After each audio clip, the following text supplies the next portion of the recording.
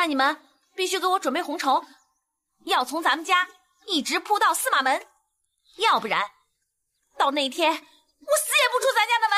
史上最嚣张皇后陈阿娇，结婚前一天胡搅蛮缠，非要汉武帝亲自到司马门迎亲，还要百里红绸铺满地，不然死都不出家门。当初汉武帝曾经许下金屋藏娇的诺言，那么当陈阿娇真的要嫁给刘彻这一天，排场到底有多惊人？汉武帝的很多妃子都出生卑贱，而阿娇却身份尊贵。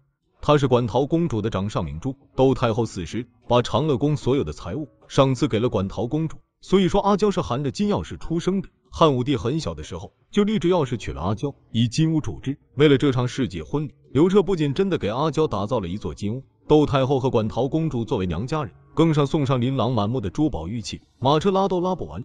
这还不够，汉武帝娶表姐这里钱肯定是少不了。历史虽然没有明确记载，参照后来东汉两位皇帝聘娶皇后的价码，应该差不了多少。汉桓帝刘志娶皇后时聘黄金二万斤，那才燕璧乘马数帛，一如旧典。汉平帝娶王莽的女儿时聘皇后黄金两万斤，为钱二万万。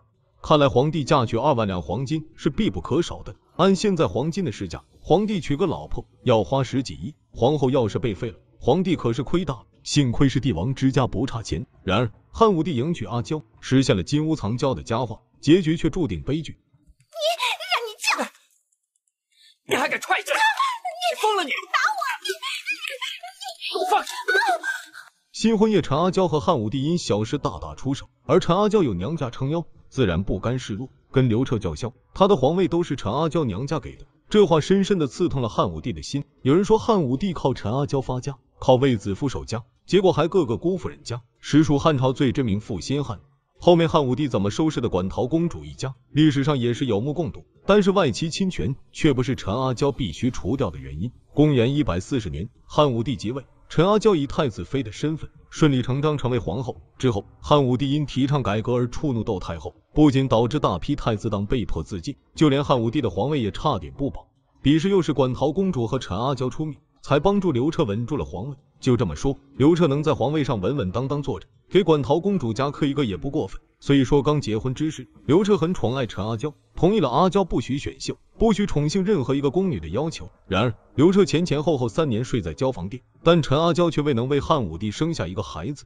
古代不孝有三，无后为大，更何况是皇家，这让陈阿娇焦虑不安。她为了治好自己的不孕不育症，花费了九千万两白银，试遍天下名医，可就不见效果。但汉武帝并没有因此嫌弃他，反而是陈阿娇的逐渐疯魔，说刘彻有隐疾，这让汉武帝直接爆炸。